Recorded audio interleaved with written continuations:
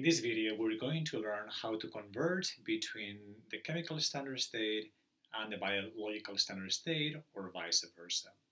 Okay, in the last video, we have introduced the concept of the biological standard state, which is simply a convenient way to set up a reference state when you're looking at chemical reactions in vivo.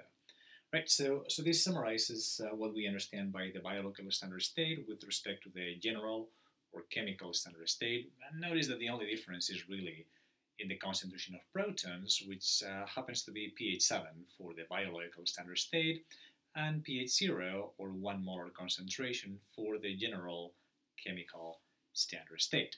Now, uh, with those uh, uh, states, what we actually, the real power of defining those states is that then we can compute things like uh, the change in Gibbs energy or reaction Gibbs energy under some conditions that maybe those of inside a cell or in some tissue, right, using these expressions, right? So, so you essentially have to choose which one you want to use, right? Uh, if you have uh, the reaction Gibbs energy at the chemical standard state, and this is given in tables, or you can obtain this from data in tables, then you like to follow that route. But sometimes this value is provided, so you like to follow that route. Okay, great.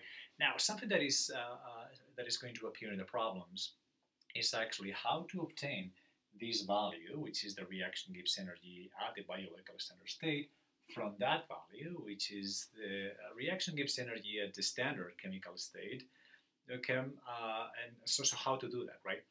Uh, well, um, uh, it turns out that uh, that is uh, something that is not difficult to do, and the way to do it is to visualize these expressions and read them in uh, something that is a little bit, uh, you know, in a way that is different from uh, what we have been handling those expressions until now.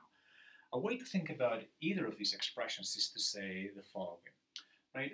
This is the reaction Gibbs energy at some target state that we're interested in, and that may be exactly the uh, you know the concentrations inside a cell in a fasted state, or maybe after you have eaten breakfast, whatever those concentrations are, right? That's what you're trying to calculate.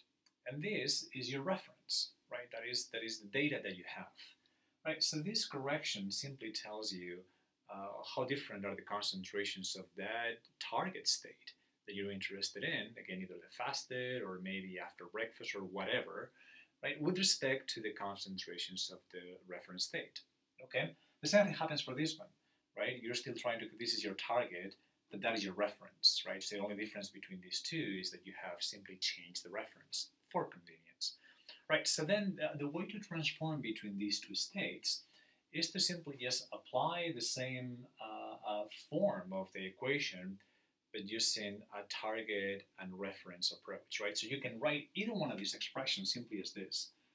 Uh, delta RG of your target, which I can uh, write here as a superscript, target, is going to be equal to the reaction Gibbs energy of your reference, which I'm simply going to write as ref, plus RT, natural log of Q, where reaction quotient here is simply going to be uh, the ratio of uh, products of reagents, where each one of those species is in the numerator, you're going to have your target concentration, the concentration you're interested in, and in the denominator, you will have your reference concentrations. Okay, so uh, so suppose that um, uh, we're interested in obtaining the biological standard state reaction Gibbs energy from the reaction Gibbs energy of the chemical standard state, which will be this one. Right, so uh, the question then is, well, what is this uh, reaction quotient? All right, so uh, we're actually going to take here the approach of utilizing this reaction. Right, so that's going to be simply um, um the concentration of C at your target uh, concentration, but in this case, my target concentration is this, okay, which will be that one, divided over the concentration of that species at the reference state, which in this case is the chemical standard state. And then the same thing is going to apply for the rest of the species. So that will be protons at the target over protons at the reference, and then uh, just reagents which I can write here quite quickly, even though it's a little hard to write uh, in this position. Okay, so concentration of B at the target over concentration of B at the reference. All right, great. All right, so uh, right, so these then will be given, or you can calculate from thermodynamic tables, right? And the question is, well, what is all this mess that we have right here? Okay, well, notice that these numbers are actually going to be fairly straightforward, right? Uh, notice that these uh, A, B, C are solutes that are not protons. But notice that the concentrations uh, at the chemical state and biological standard state for solutes that are not protons are all one molar, right? So this number will be one molar, one molar, one molar, one molar, one molar, one molar. That actually, there's no difference here between the standard state, chemical standard state, and the biological standard state, right? So all this is going to cancel out. Okay, the only difference is actually going to be in between uh, uh, in those in that uh, concentration of proton, which is the only thing that changes, right? So if you uh, take into consideration that cancellation, you can rewrite this whole thing as simply the concentration of protons uh, at your target over the concentration of protons in your reference. Okay, and we know what those numbers are, right? That number will be 1.0, 10 to the minus 7 molar, and this number is going to be 1 molar. Okay, so notice that uh, from this point on, the calculation of what the biological standard state is from the chemical standard state is straightforward, right? Uh, uh, uh, it's not difficult at all. Okay, great. Uh, uh, so to wrap this video up, or just to kind of add substance to what we just discussed, we can actually now change the question, right? We can say, well, suppose that you're actually provided this number, that is the biological standard state, the Gibbs energy at the biological standard state, and your goal is to calculate uh, the reaction Gibbs energy at the chemical state from that value. Okay, well, in that case, you can still use this approach. Okay, but the only thing that, that changes here is that, uh, well, your states are flipped. Right now, your target is going to be the chemical standard state.